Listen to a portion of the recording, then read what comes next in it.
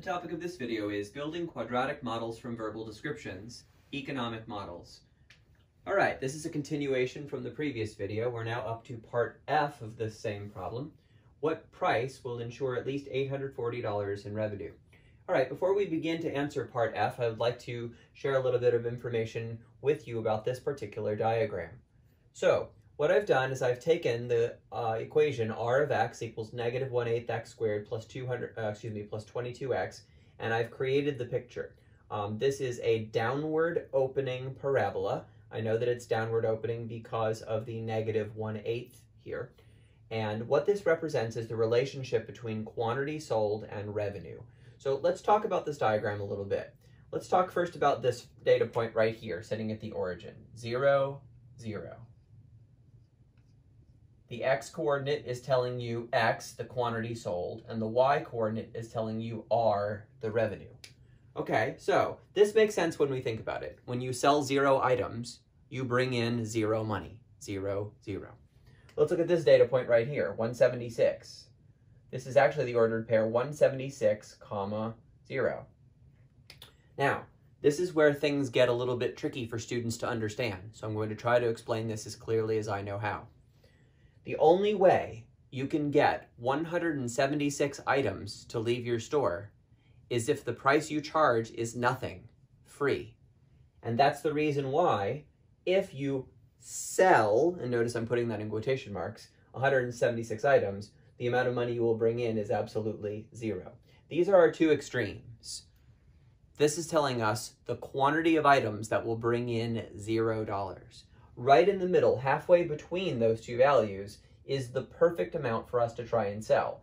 If you sell 88 items, which you would have to charge $11 in order to do that, then 88 times 11 would bring in the maximum revenue of $968. Okay, so now that we've had a little bit of time to look at this diagram, I think this question will make a little more sense. What price will ensure at least $840 in revenue? Well, we know that the maximum revenue we can make is $968. But what if we're willing to accept a little bit less revenue, $840? You might think to yourself, why would someone ever do that? Why would someone want less money? Well, one advantage is that you can lower the price for your product, which means that perhaps you'll steal away business from a competitor. So, when we look at this particular diagram, what I've done is I've drawn 840 on the y-axis, or the r-axis, as well as cut this parabola, and then I've shown this green shaded region. Anything inside this green shaded region would represent a revenue that is between 840 and 968. Remember, 968 is the maximum. All right, let's now solve this problem. What price will ensure at least $840 in revenue? $840 in revenue. That's telling me that $840 is the value for R. So I'll plug that into my equation and I'll get 840 equals negative 1 8th x squared plus 22x.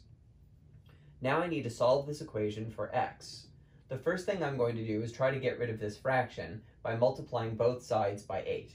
So 8 times 840 is going to equal 8 times negative 1 8th x squared plus 22x. 8 times 840 is 6,720. 8 times 1 eighth is 1 because these are reciprocals. When you multiply 8 over 1 by 1 over 8, the 8's cancel and you're just left with 1. Of course, we still have this negative. So negative x squared plus, and 8 times 22 is 176x. Now move all terms to the left side. When a term changes sides, it changes signs. So I get x squared minus 176x plus 6,720 equals 0. Now I have an important decision to make. I need to solve this quadratic equation.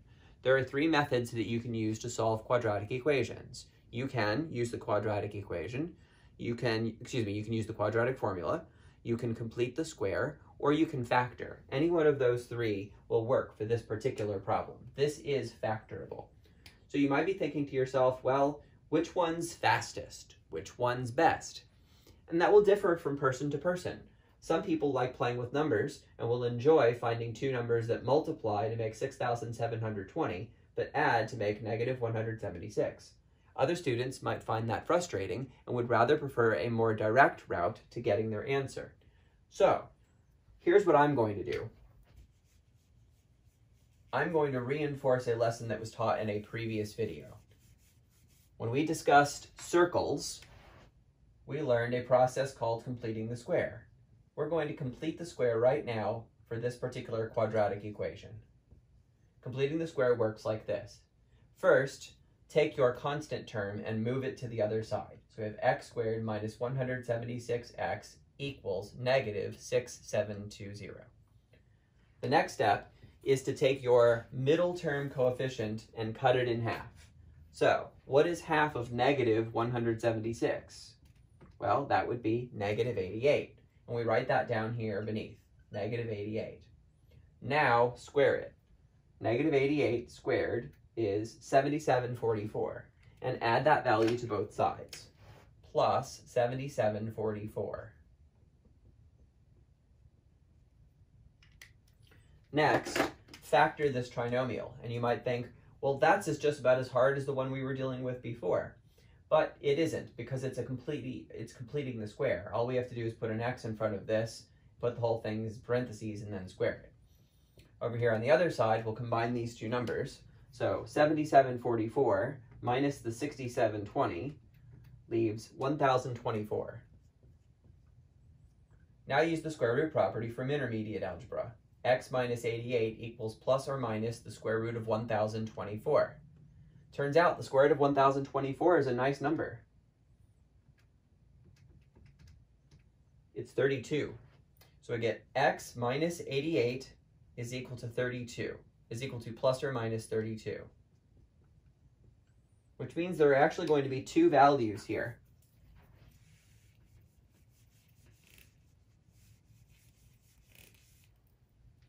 So when we move the subtract 88 to the other side, we get x equals positive 88 plus or minus 32. x equals 88 plus 32, or 88 minus 32. So we get 120 or 56. These are the two possible values of x that will bring in the revenue indicated. These are the two question marks that I had located on our diagram. We can now fill those in. So 56 or 120. And we're almost at the end of this problem, but there's something that I would like to explain before I continue. Let's take a look at this diagram. If you sell 56 items, then you'll bring in $840. If you sell 120 items, which is a lot more, you will also bring in $840. This is very confusing to students. They think to themselves, how is that possible? If you sell more items, how is it that you'll bring in the same amount of money? Here's what they fail to understand. The only way to sell more items is to lower the price. And so when you lower the price, you're bringing in less money for each item. So what we observe is that if you sell 56 items, you'll bring in $840. And if you sell 120 items, you will also bring in $840. This is almost the answer to our question. The question says what price?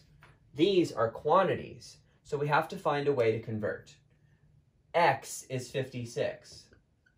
R is 840. But there's a wonderful formula, R equals X times P, that will allow us to use those two values to find the price that we're looking for. And while we're at it, let's go ahead and write X equals 120 r equals 840, we'll use the equation again and get the two prices that we're looking for. All right, here we go. Plugging these two values into this equation. 840 equals 56 times p. Divide by 56 on both sides.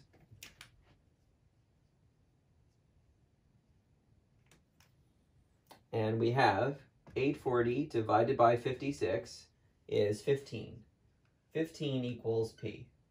Over here, same idea, 840 equals 120 times p. Divide by 120 on both sides. And we're going to get 7. 7 equals p. So, this ordered pair on our diagram which lists a value of x and a value of r, gives us a value for p of 56 was this one, $15. This dot on our diagram must be the other one, so this is where the price is equal to $7. And this one right here at the top is where the price was equal to $11. So you can see that every dot on our diagram corresponds to a different price. 7 going all the way up to 11 and then continuing up until we get to 15. So if the price is anywhere in between 7 and $15, the revenue will be $840 or higher. So we can write our final answer as 7 is less than or equal to P is less than or equal to 15. This is the end of part F, and this is also the end of this rather long problem.